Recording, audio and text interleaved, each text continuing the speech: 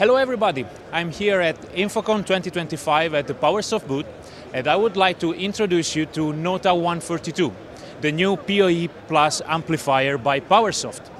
Actually, PowerSoft launched this amplifier at ISE this year, but now we are introducing to the US market. As you can see, it's a very, very small amplifier and it is so handy that can fit your pocket, so you can keep it always with you to solve any kind of issue and to install it anywhere.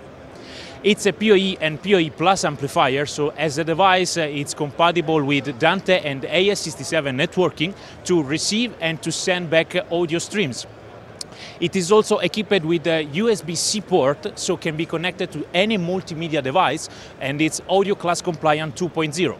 So this means that we can stream from a USB uh, port uh, of a tablet, of a smartphone, of a computer. It also provided a set button to auto-calibrate and launch the auto setup algorithm to protect the loudspeakers, and this means that we can play audio safely. Can be installed in any position because the rack mount accessories is included with the amplifier itself, can be screwed on the wall, can be installed on a DIN rail bar, and can be also fixed with zip ties around the pole. Nota 142 can be monitored in uh, a variety of ways, starting from the SNMP protocol and finishing to our cloud infrastructure that is called MyUniverso. Let's go and see what MyUniverso is capable of. So actually MyUniverso gives us a simplified dashboard uh, that allows the control and the monitoring of all our sites. We can on the first site see if everything is going good and we have all the history of the events.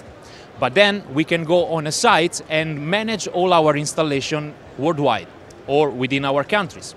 We can go inside one installation and check what is the status of our racks. The new upgrade will give us the status of each device in the rack according to the power draw and the current drawn, and even if we are using Unica amplifiers from PowerSoft, the ambient temperature. This is not at all because inside the device page we can go to check every device configuration. We can see the input status, we can see the matrix, the routing uh, of the signal and also the speaker preset configuration that is loaded in the amplifier and of course we can monitor the output. But we can also change the, pre the preset, the speaker preset, and we can also mute and control the gain of each single channel. This means that if we need to do a maintenance operation uh, locally, we can remotely prepare the setup for the technician that is going on site. This will speed up a lot the operation and will allow the technician to not care about the configuration of the amplifier. Moreover, we have the full history of the events of all our site that we can also filter and search for if something happened and we want to know the reason.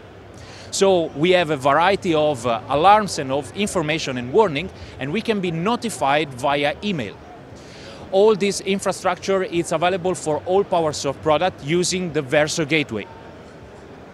If you want to know more information about this, please visit our booth or our website, powersoft.com.